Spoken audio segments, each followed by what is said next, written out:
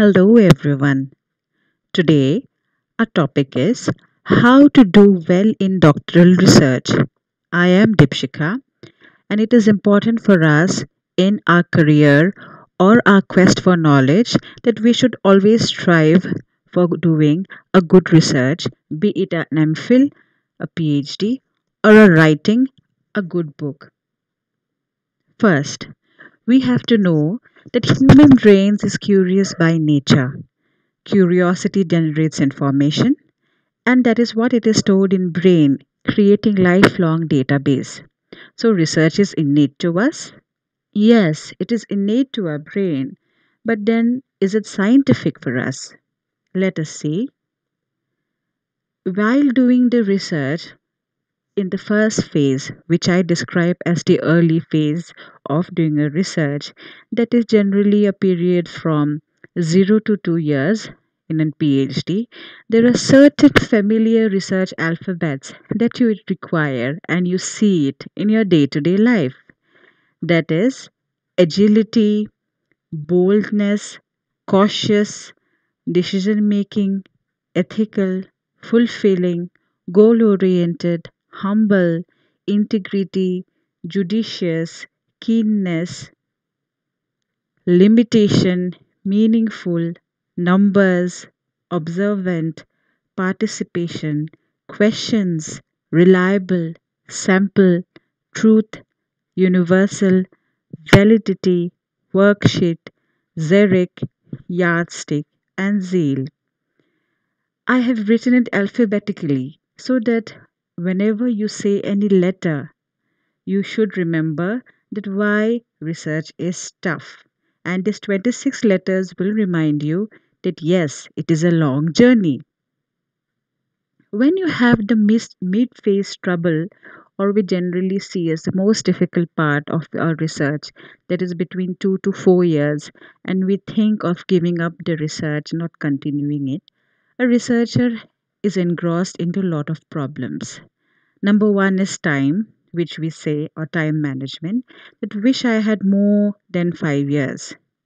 Next is age, always have this feeling, wish I started early on this topic. Next is money, wish I could be more judicious with the money that I had. Next, an important aspect is the relationship between the mentor and the mentee, or guide and the scholar, or supervisor and the scholar where an empathetic relationship is required from both the end. A good communication is required from both the end. Next, we have is publication.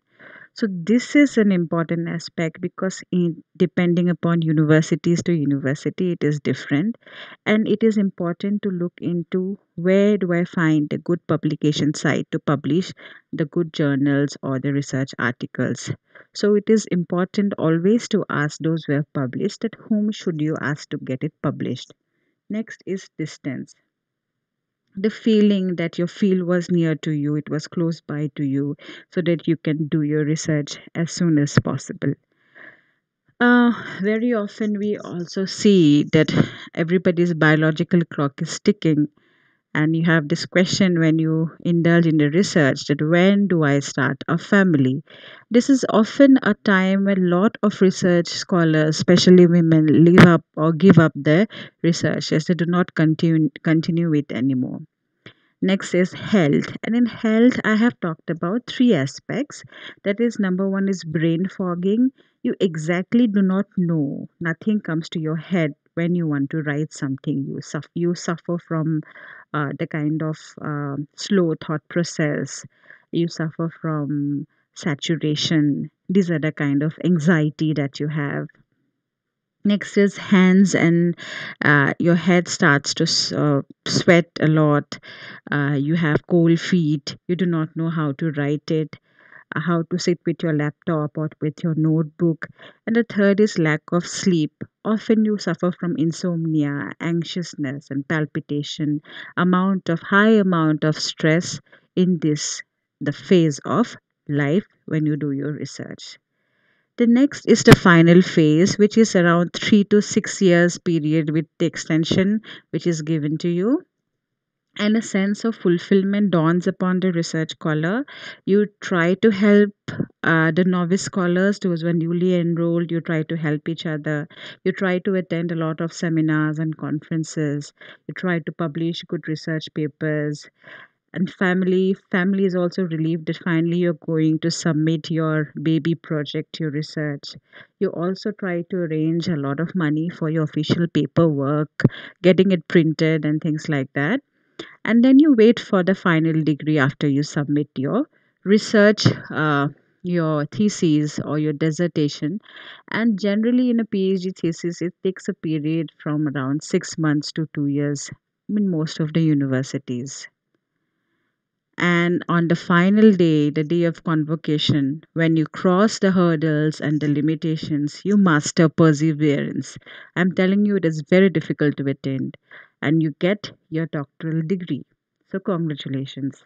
For a lot of people, it is the best day of their life, which I call it metamorphosis. So, what is the learning that we have? That early start is like an empty slate which can be filled up with questions, experiments, debates, and the potential to create, add new body of knowledge. So wish you all the best with your research journey ahead.